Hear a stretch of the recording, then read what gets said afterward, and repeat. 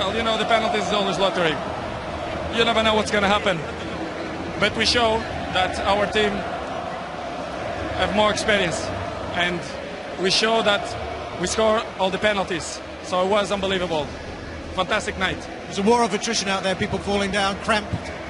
It's difficult. It's the end of the season. People is not fit anymore. So we have to rest now and uh, prepare for to do, to do it a great uh, Euro Cup. You have to race for the trophy. They're dragging you up for the trophy presentation. Good luck. Uh, thank you very much.